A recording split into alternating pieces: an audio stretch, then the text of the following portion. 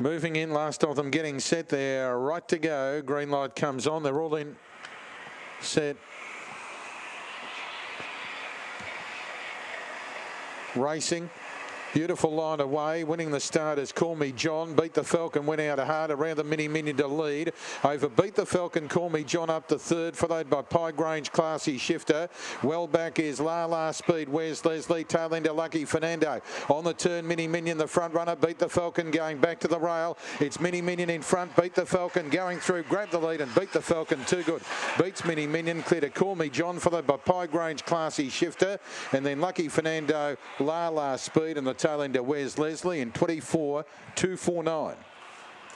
24 249 and unwanted in betting, but has been too good. Number two beat the Falcon.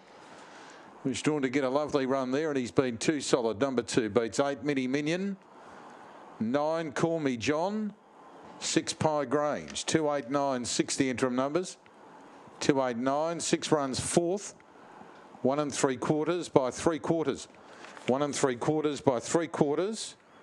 It's 6.54 and 11.42. 6.54, 11.42. Home in 12.83. And the run 24, 249. 2896. Winner got out to $10 fixed odds. In fact, at one stage, might